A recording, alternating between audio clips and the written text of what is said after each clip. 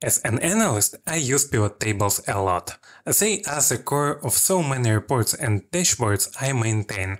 But no matter how good your setup is, forgetting to refresh is a real risk. So when I saw my pivot tables auto-update this week, I honestly thought I was imagining it. But no, it's real and it's coming soon to everyone. Today's topic is automatic pivot table refresh. Here is a basic sales table. It's got names, regions and total sales. Yes, the names are totally random. And then, just to make it visual, I dropped in a pivot chart.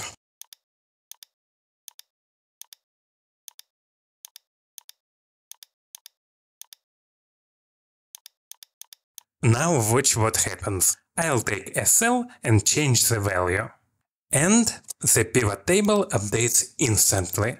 No refresh, no right click, no button smashing, the pivot chart also live.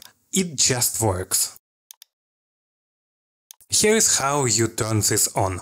Click anywhere in the pivot table, then go to Pivot Table Analyze tab, Data Group, Auto Refresh. It's a toggle.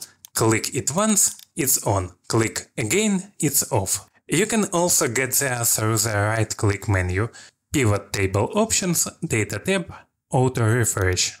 Same setting, just a different path. And if you want this to be the default for every pivot you ever build, go to File, Options, Data, Edit Default Layout, Pivot Table Options, and tick the Auto Refresh box. Set it once, never think about it again. Now a heads up.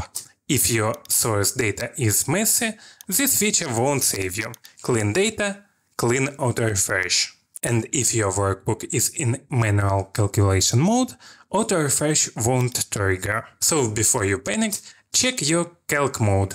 Formulas tab, calculation options, automatic. When will you get it? This is still in the insiders beta channel and Microsoft rolls things out gradually. If all goes well, it moves to the current channel, so hang tight, it's coming.